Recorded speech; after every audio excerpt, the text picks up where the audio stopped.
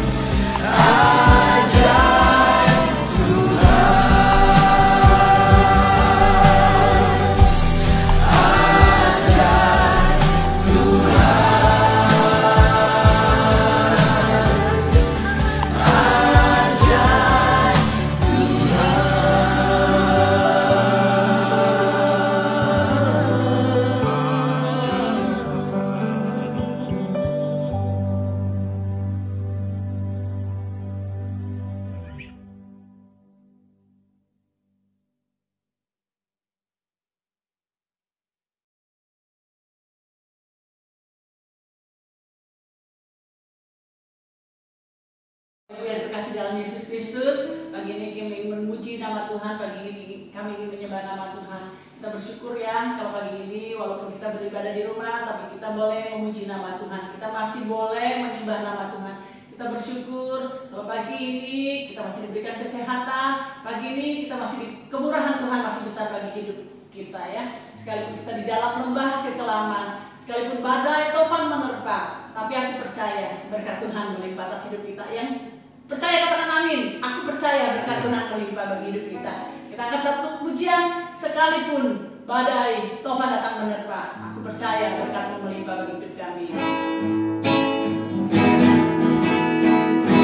Sekalipun aku dalam lembah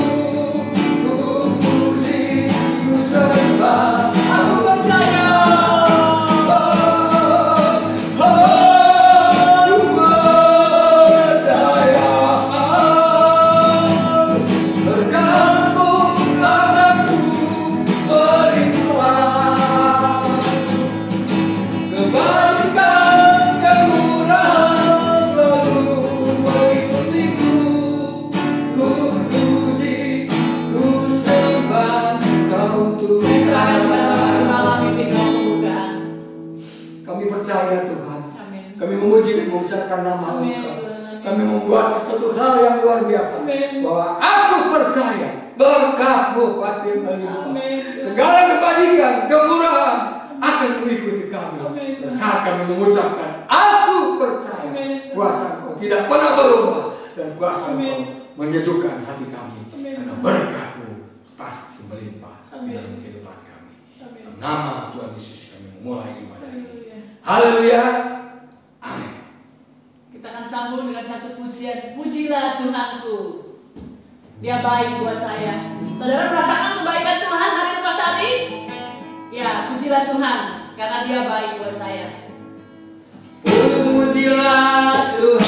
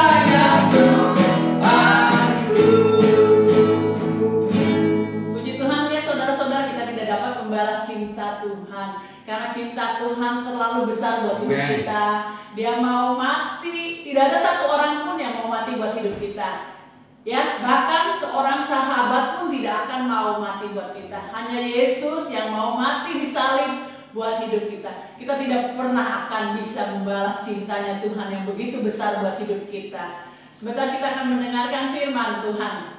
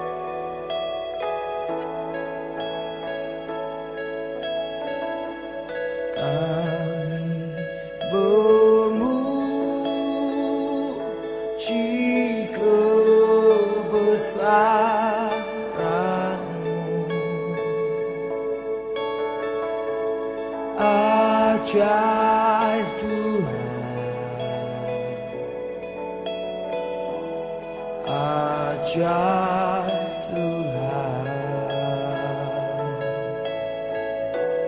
Kami memuji kebesaranmu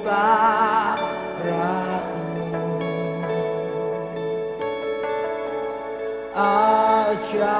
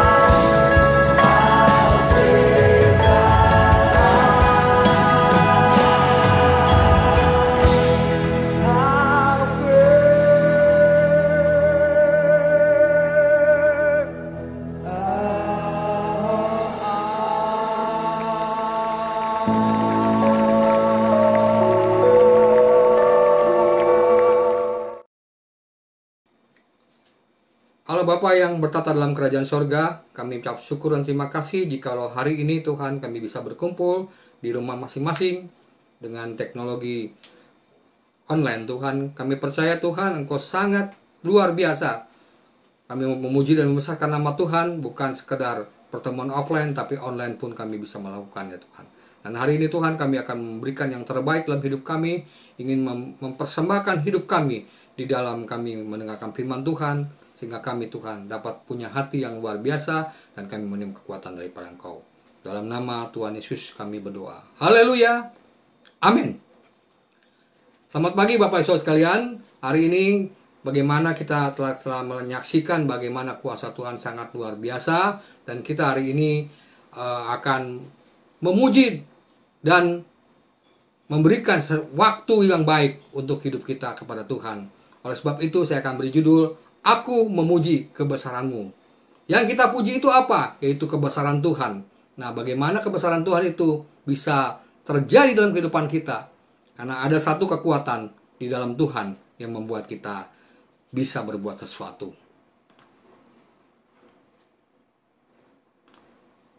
Mari kita akan buka di dalam Yohanes 21 ayat 1 sampai 6 mengatakan, Kemudian Yesus menampakkan diri lagi kepada murid-muridnya di pantai Danau Tiberias dan ia menampakkan dirinya sebagai berikut. Di pantai itu berkumpul Simon Petrus, Thomas yang disebut Didimus, Nathanael dari Kana yang di Galilea, anak Sebedius dan dua orang lain yang lain. Kata Simon, Petrus berkata kepada mereka, Aku pergi menangkap ikan. Kata mereka kepadanya, kami juga dengan engkau. Mereka berangkat lalu naik ke perahu, tetapi malam itu juga mereka tidak menangkap apa-apa. Ketika mulai siang, Yesus berdiri di pantai, akan tetapi murid- murid-muridnya tidak tahu bahwa itu adalah Yesus. Kata Yesus kepada mereka, "Hai anak-anak, adakah kamu punya lauk pauk?"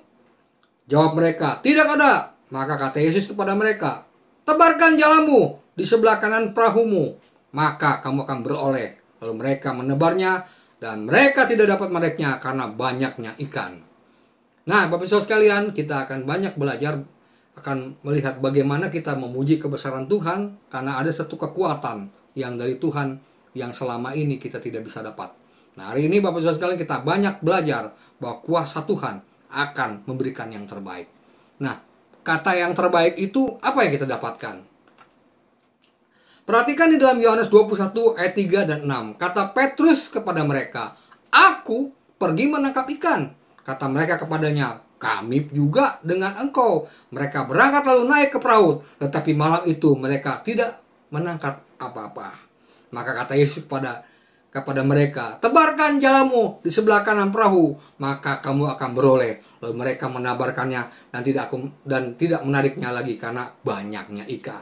Nah, Bapak Ibu sekalian, kadang-kadang kita manusia tidak mampu untuk melakukan yang selama ini kita lakukan.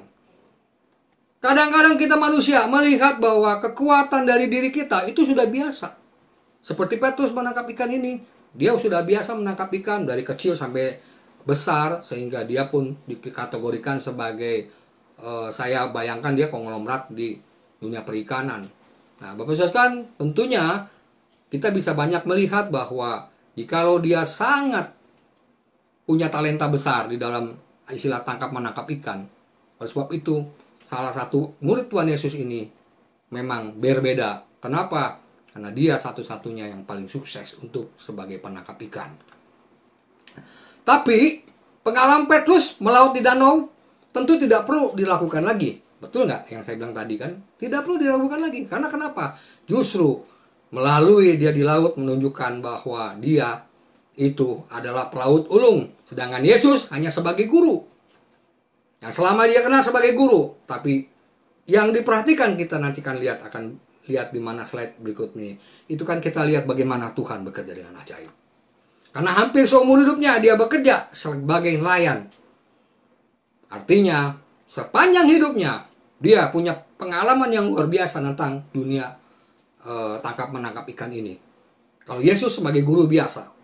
Oleh sebab itu dia hanya berkawan sebagai guru dan murid di dalam istilahnya di dalam eh, pekerjaan Tuhan. Nah, Bapak Saudara sekalian kita lihat bagaimana kuasa Tuhan sangat luar biasa. Maka pastinya dia tahu betul di sekitar mana, pada jam berapa ikan begitu mudah didapat. Dan dia tahu kapan dia menangkap ikan, kapan dia menepi, dan kapan dia menangkap ikan yang tepat, lokasi mana, itu yang menjadi kehebatan Petrus. Namun, pada malam itu, saya katakan dia belum hoki. Kenapa? Ya mungkin mereka juga tahu atau Petrus juga tahu bahwa itu suatu saat tidak akan pernah tidak pernah akan dapat suatu saat dia tidak, tidak akan dapat suatu saat itu.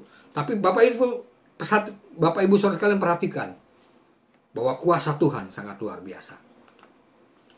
Tapi saudara sekalian sebagai manusia tentu Petrus berusaha habis-habisan, tetapi hasilnya nihil.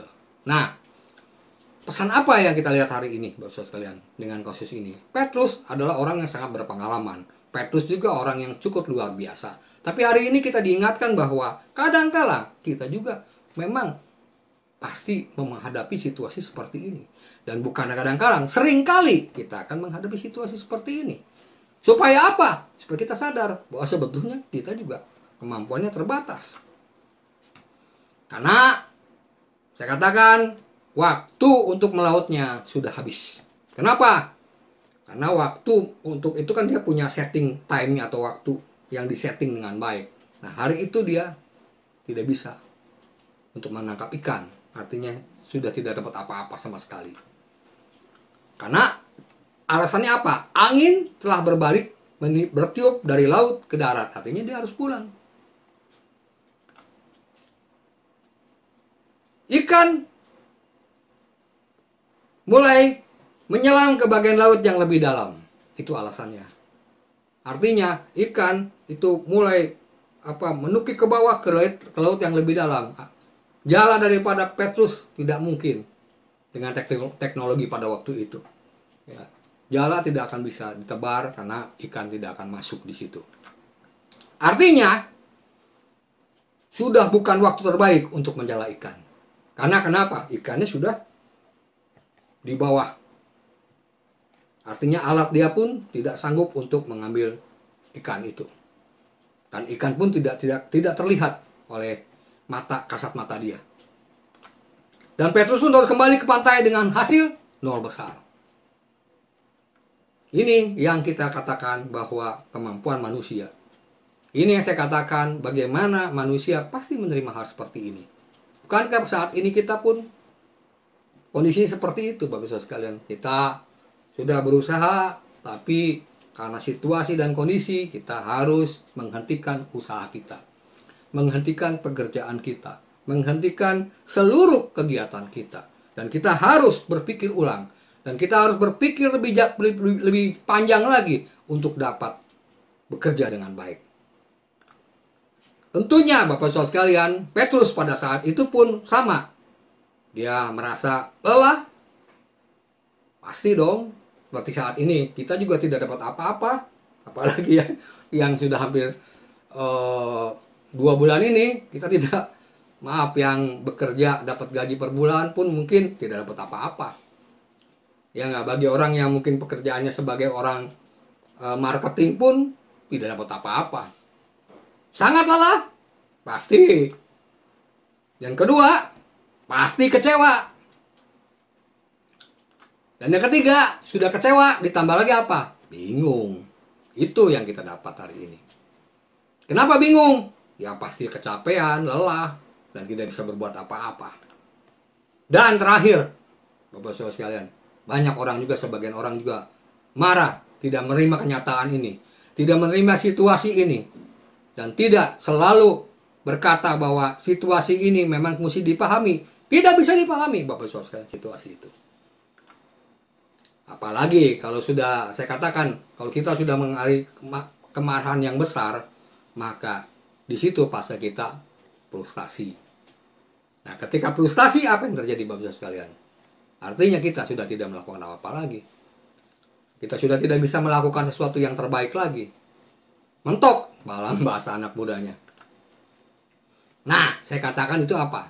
Itu adalah manusiawi. Mengapa? Bukankah setiap manusia seperti itu? Ketika masalah, ketika situasi sudah tidak bisa dibuat apa-apa lagi. Karena itu menunjukkan apa Bapak Ibu sekalian? Kita manusia terbatas.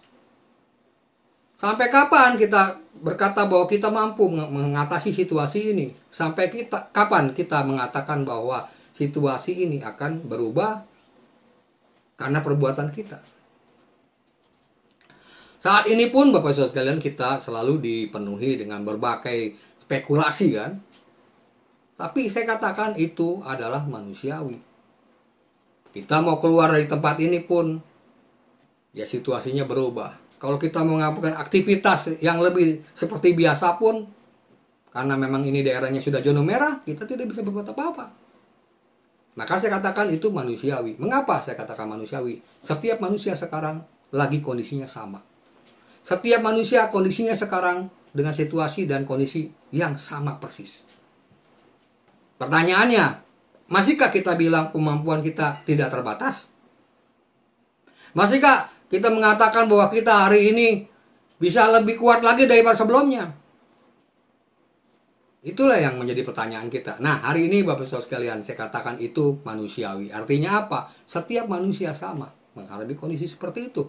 Bahkan Bapak Ibu sekalian, saya dengar kemarin di Amerika, eh, saya sayang videonya saya tidak belum saya upload. Yang di Amerika mereka mengatakan bahwa hak hidup itu hak kami. Jangan dibatasi oleh sistem dan keadaan. Jadi pada saat itu rakyat Amerika sudah udah frustasi karena yang mati mulai banyak. Kemudian eh, situasi tidak terkendali. Oleh sebab itu Bapak sekalian, saya katakan hari ini juga dengan posisi ini manusiawi. Karena di sini tidak ada yang yang Superman kan? Manusia super. Karena manusia ya seperti itu Bapak Ibu sekalian. Nah, justru di situlah kita perlu Tuhan. Kita butuh Tuhan. Pada saat yang tidak pernah terduga itulah Yesus menyatakan dirinya.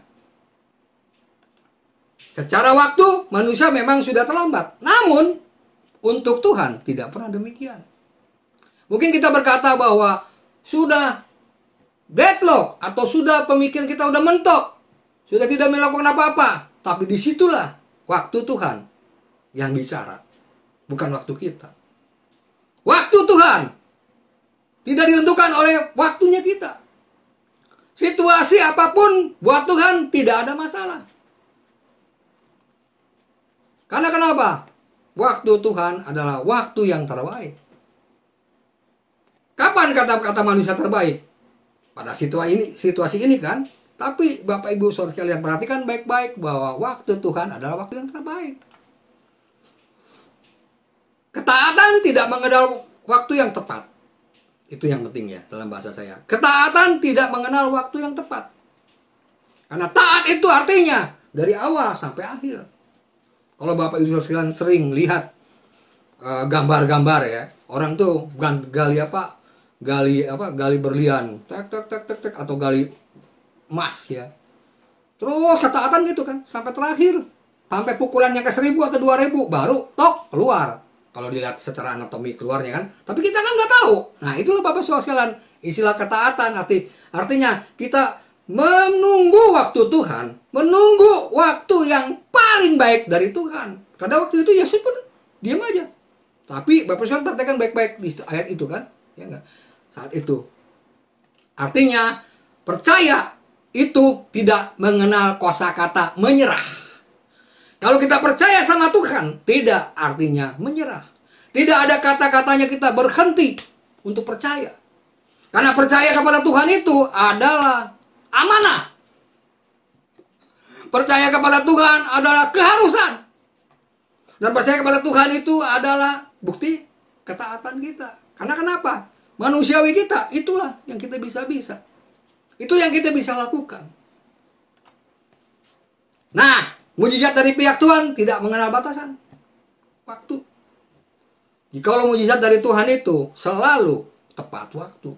Nah, pertanyaannya tepat waktunya itu menurut versi kita atau versi Tuhan. Di sinilah saya katakan, bagaimana kita menemukan kekuatan dari Tuhan dengan ketaatan kita. Dengan kesabaran kita. Dan kita menunggu waktu yang tepat itu bukan urusan kita. Tuhan yang menentukan waktunya. Artinya Tuhan bisa bekerja kapan saja, di mana saja, dan kapan waktunya dan tepat waktunya itu urusan Tuhan. Bapak Saudara sekalian, dengan kondisi seperti ini kita melihat bagaimana Tuhan bekerja dengan ajaib. Nah, kata ajaib ini artinya apa? Tuhan punya waktu. Tuhan punya waktu yang tepat dan waktu itu adalah rahasia Tuhan. Nah, kalau ini Bapak, hari ini Bapak Ibu Saudara sekalian meminta bahwa kondisi ini segera dihentikan. Kalau kata kata Tuhan belum dihentikan, punya setting waktu tersendiri, ya kita nggak bisa apa-apa. Nah, kalau ketika kita deadlock, apa yang kita lakukan? Apa? Berserah kepada Tuhan. Karena kita punya kekuatannya terbatas. Karena kita pun mempunyai kesabaran terbatas. Oleh sebab itu, saya kasih tahu buat Bapak Ibu sore hari ini, jikalau kita sudah tidak sabar, berikan waktu untuk Tuhan supaya kesabaran itu datang kepada kita. Karena waktunya Tuhan, bukan waktunya kita. Karena kenapa? Di mana pun berada, situasi kapan pun, tetap Tuhan punya waktu. Tapi waktu daripada Tuhan tidak bisa seperti waktu yang kita bilang. Dan dengan cara apa pun, menurut keputusan kehendaknya. Kalau kata Tuhan hari ini ada ada pertolongan dari Tuhan, yes. Tapi kalau hari ini nggak ada pertolongan dari Tuhan, apa yang terjadi? Karena semua alam semesta ini milik Tuhan. Yang mengendalikan Tuhan, yang mengatur Tuhan. Manusia berusaha secara teknologi, berusaha lebih baik lagi, lebih baik lagi. Tapi dia punya batasan. Sebab itu kita hari ini banyak belajar dengan kondisi seperti ini Bapak Saudara sekalian. Ya? Itulah yang saya katakan, kalau Tuhan waktunya tidak terbatas dan kalau Tuhan itu punya waktu yang tersendiri dan cara Tuhan itu saya katakan dalam bahasa saya itulah ilahi. Yang pertanyaannya yang jelas adalah kapan yang manusiawi itu bertemu dengan yang ilahi. Tadi saya katakan di dalam slide saya kan, jikalau kita melakukan sesuatu dengan kekuatan kita sendiri, pasti kita capek, frustasi. Itu manusiawi. Nah, tapi ada hak berita menariknya. Makanya saya bilang kita harus memuji kebesaran Tuhan. Artinya apa? Tuhan masih punya waktu. Tuhan memberikan pertolongan tepat waktu kepada kita. Kenapa saya kata tepat waktu? Karena itulah yang ilahi. Pertanyaannya buat kita hari ini apa? Apakah kita masih tetap percaya dan taat sekalipun waktu yang terbaik menurut manusia? Untuk hal tersebut sudah berlalu seperti Petrus tadi. Lihat kata dua, dalam ayat 2 ayat 3 pasal 21. Kata Simon Petrus kepada mereka, "Aku pergi menangkap ikan." Kata mereka kepadanya, "Kami juga pergi dengan engkau." Mereka berangkat lalu naik ke perahu tetapi malah mereka itu tidak mendapat apa-apa. Saya katakan itu manusiawi ya? Manusiawi. Justru bagaimana yang manusiawi itu kita undang yang ilahi. Syaratnya apa? Taat. Syaratnya apa? Sabar. Saatnya apa? Kita mengenal waktu Tuhan adalah dengan mengenal Tuhan. Kita tahu waktunya Tuhan, berarti kita mulai sabar menanti kuasa Tuhan. Kalau kita tidak sabar mengen- tidak sabar mengenal waktunya Tuhan, maka kita gagal meng- mengenal Tuhan. Maka kita gagal beriman kepada Tuhan. Maka kita gagal untuk menerima kenyataan seperti ini. Jika Petrus gagal melempar jalannya sekali lagi, artinya dia dapat ikan nggak pada waktu itu? Kalau Tuhan katakan, ya kamu tebarkan. Itu adalah hal yang luar biasa kan? Dia menyerah pada keadaan yang mengecewakan itu. Karena kenapa? Dia sudah berkali-kali, maaf, mungkin berjuang secara manusiawi, secara kekuatan manusia. Dia tidak mengenal waktu yang tepat apa yang Tuhan katakan. Nah, saudara sekalian, kondisi seperti ini pun kadang-kadang mendera hidup kita. Kapan waktu yang tepat? Karena waktu yang tepat adalah milik Tuhan. Pertolongan itu, ya enggak, waktu daripada Tuhan bukan kita. Itulah mujizat saya katakan. Itulah mujizat dari Tuhan. Kita tidak bisa mengatur Tuhan, tapi Tuhan akan datang. Dan bagaimana caranya datang? Kita harus taat. Bagaimana cara datangnya? Kita harus mengenal Tuhan dengan baik. Nah, sebab itu Bapak Ibu sekalian, ketika Petrus ya enggak disuruh oleh Yesus tebarkan jala. Tadinya dia berkata, "Guru, sepanjang malam aku tidak bisa melakukan apa-apa, tapi engkau yang menyuruh aku. Tebarkan jala." Dia menebarkan jala. Itu artinya apa?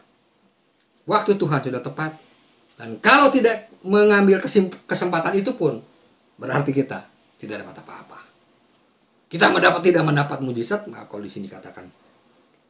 Ya, teks ini mengatakan tidak mendapat mujizat.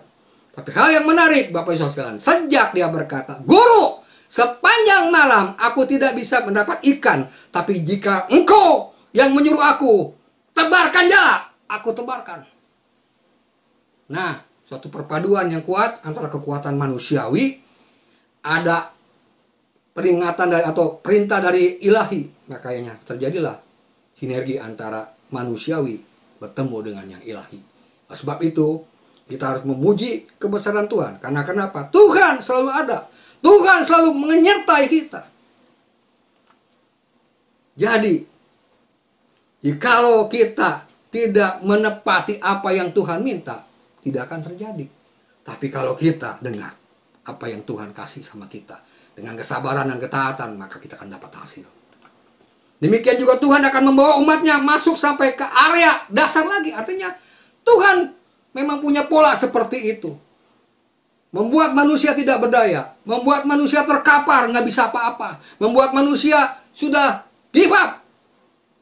Walaupun ada mengatakan lagu mengatakan never give up, give up. Jangan menyerah, jangan menyerah. Jangan putus asa. Tapi ada lagu juga mengatakan jangan pernah menyerah, jangan berputus asa. Mujizat Tuhan ada. Nah, artinya apa? Kita harus mengundang sesuatu yang ilahi. Bukan kita mengundang hati kita yang terus frustasi, bukan kita mengundang situasi yang terlalu yang membuat kita prediksinya negatif atau kita selalu bilang, "Wah, kalau apa kejadian seperti A, pasti ke B." Pasti ke C. Dan itu pun sudah menurut prediksi manusia. Nah, Bapak Ibu Saudara sekalian hari ini saya mau ingatkan bagaimana Tuhan bekerja dengan ajaib. Itu bukan urusan kita. Tapi kalau kita sudah mengerjakan pekerjaan sebagai manusia yang manusiawi itu, itu udah cukup. Karena kenapa? Mujizat itu milik Tuhan. Jadi untuk melatih kita tetap percaya dalam arti sesungguhnya Allah adalah pernyataan. Kita lihat dalam ayat 5 dan 6. Kata Yesus kepada mereka, Hai anak-anak, adakah kamu mempunyai lauk paut? Jawab mereka, tidak ada. Maka Yesus berkata kepada mereka, Tebarkan jalamu di sebelah kanan perahu, maka kamu peroleh. Lalu mereka menebarkannya, mereka tidak dapat menariknya lagi karena ikannya yang banyak. Nah, menjadi pertanyaan saya adalah, kalau Yesus tidak berkata apa- apa-apa, dapat nggak mujizat? Tidak kan? Kalau Yesus tidak berkata apa pun, artinya dia punya rencana lain.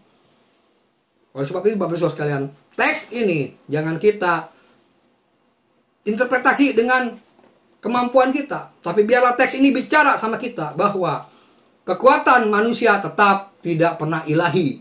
Justru pada saat kita taat, kita percaya kepada kuasanya Tuhan. Dan percaya itu bukan berarti ada jawaban dan tidak jawaban. Ada jawaban atau tidak ada jawaban, tetap percaya. Itu yang kondisi yang kita lihat hari ini. Maka itu Allah menyatakan pernyataan. Iman adalah pengenalan. Taat.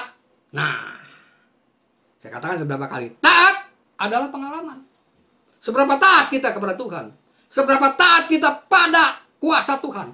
Seberapa taat pa- pada pertolongan Tuhan. Walaupun Tuhan tidak menolong, kita tetap taat. Itu jadi masalah iman. Inilah kekayaan rohani yang sejati. Maksudnya apa? Makanya kita harus memuji kebesaran Tuhan. Artinya apa? Pada saat manusiawi kita bertemu yang ilahi, maka ada satu pertemuan yang luar biasa. Itulah kekuatan yang Tuhan kasih sama kita. Itulah kehebatan Tuhan. Itulah artinya Tuhan ada. Nah, saya mau kat- ngasih- mem- memberikan pernyataan sama Bapak Ibu saudara sekalian. Situasi itu tidak pernah kita kontrol. Tapi biarlah Tuhan yang mengontrol. Kalau Bapak Ibu saudara sekalian melihat bagaimana Petrus menangkap ikan menghasilkan sesuatu yang luar biasa. Saya balik, kalau teksnya bicara Petrus tidak dapat ikan, kira-kira ada nggak kuasa Tuhan? Saya katakan ada. Cuman teksnya berubah. Mungkin tidak dapat ikan, tapi di tempat yang lain atau di, di lain kesempatan dia punya waktu. Itu Saudara sekalian. Makanya kalau kita membaca Alkitab, kita membaca teks itu. Marilah kita jangan memperkosa, memperkosa teks itu dengan kemauan kita. Jangan memperkosa teks itu dengan bayangan kita. Biarlah teks itu bicara dengan baik sama kita. Biarlah teks itu terus menjadi rema atau menjadi kekuatan supaya kita tetap taat. Karena taat saya katakan tadi pengalaman. Percaya adalah iman. Iman nggak punya pengalaman, tidak ada pengalaman. Karena Petrus berkata tadi, jika engkau yang menyuruh aku tebarkan jala, maka aku nyebarin. Dan saat itu Bu, Bapak Saudara sekalian, dia tersungkur di hadapan Tuhan setelah Pe- Petrus berhasil menangkap ikan. Ya enggak? Dia tersungkur kepada Tuhan. Artinya apa? Tadinya dia menganggap dia Tuhan itu sebagai guru. Kalau guru, ya kamu cuma bisa ngajar sesuatu aja, tapi aku juga punya pengalaman. Tapi dia melihat dan Petrus langsung tersungkur berkata, Aku orang berdosa. Tuhan, engkaulah Tuhan. Nah, inilah yang saya katakan kepada Bapak Ibu saudara sekalian. Biarlah kita mengenal Tuhan, melihat Tuhan, dan merasakan Tuhan pada saat kita tersungkur di hadapan Tuhan. Itulah yang saya katakan biar menjadi firman kita bahwa kenapa saya katakan kita harus memuji kebesaran Tuhan. Kalau kita memuji kebesaran Tuhan, berarti kita mengakui dia Tuhan. Yang kedua, berarti kita dengan taat menunggu Tuhan. Berarti yang ketiga, kita dengan penuh percaya, walaupun kejadiannya tidak pernah berubah, tetap percaya. Tuhan punya waktu yang luar biasa. Itu yang saya bisa sampaikan. Biarlah minggu ini menjadi berkat buat kita. Biar Tuhan memberkati. Mari kita berdoa. Terima kasih Tuhan atas firman Engkau yang begitu luar biasa. Biarlah kami dapat diterjemahkan dengan baik dan melihat situasi dan kondisi dari sisi Engkau. Dan kami adalah orang yang percaya kepada Engkau apa pun yang terjadi di dalam hidup ini. Engkau lah yang punya kuasa, Engkau lah yang mengatur. Dalam nama Tuhan Yesus kami berdoa. Haleluya. Amin. Tutup ibadah ini dan kami angkat tangan bersama-sama kita menerima berkat daripada Tuhan. Kita menyanyikan lagu Kami memuji kebesaranmu.